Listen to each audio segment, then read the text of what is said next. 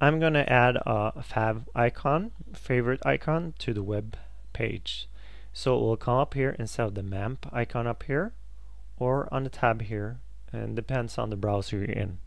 So I created a PNG file in Photoshop, a 16 by 16 bit image, pixel image, and I found a website that will convert it from a PNG to ICO file. And the website I went to is called Chami, C H A M I dot com. You can just do a search on the web on the web and you'll find a, a site that will convert it for you. In my child thematic folder, I'm going to make an images folder.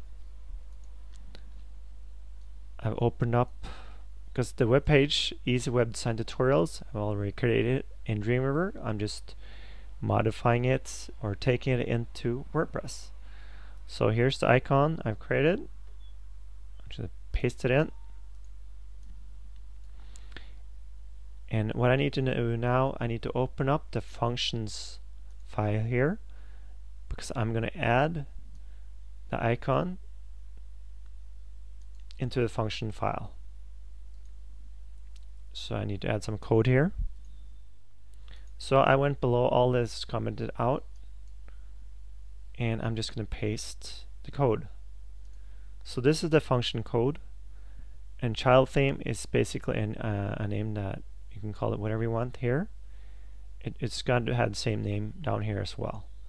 So this is the code for the shortcut icon, icon here. And it's in my images. It's called fav icon as it says here. And it's in the WordPress head section. And I'm just going to save this now and we'll see what happens.